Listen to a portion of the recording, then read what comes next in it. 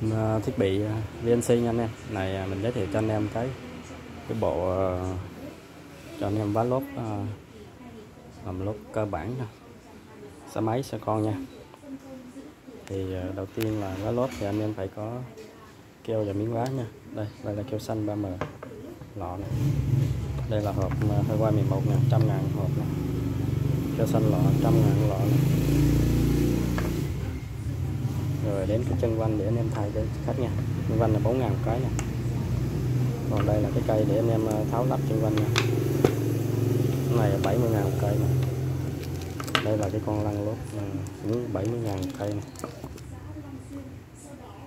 đây là cái đá mài lốp anh em đúng cái máy hơi máy mài này máy mài này là 220 ngàn cái nè, đá mài là 20 ngàn cái nè, còn đây là cái cây uh, cho anh em tháo cái ti vanh nha này 15 ngàn cây nha.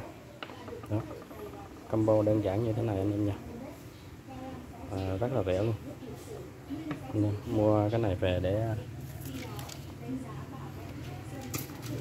để làm lốp à, xe máy và xe con anh em nha. Rất là đơn giản nha chỉ cần bấy nhiêu là anh em đã làm lốp được rồi.